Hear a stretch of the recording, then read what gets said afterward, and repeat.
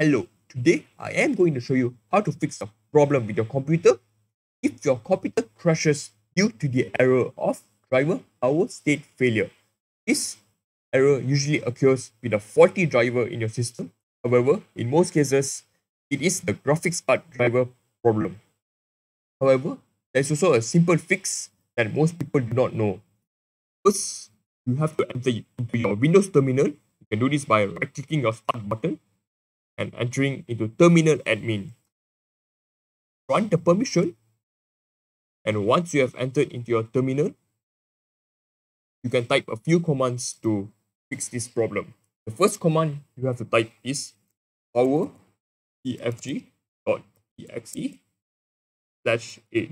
So this command lists all the available sleep states in your system. Just enter it and as you can see, there's two sleep states that are available on my system. First, which is standby, and second is hibernate.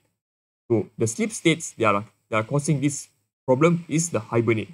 So we have to disable the hibernation on our computer to fix this driver power state failure issue.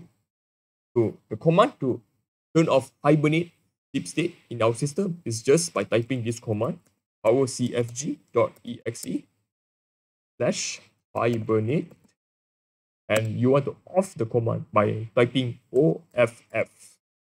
So once you enter the command, hibernation sleep state will be switched off in your system. To verify it, we can type in the command ab above.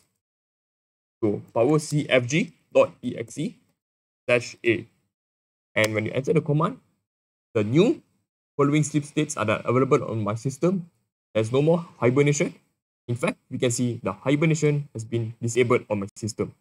So when your hibernation is disabled from your system, your graphics card is now always available on your system and therefore it will prevent the issue of driver power state failure in your system.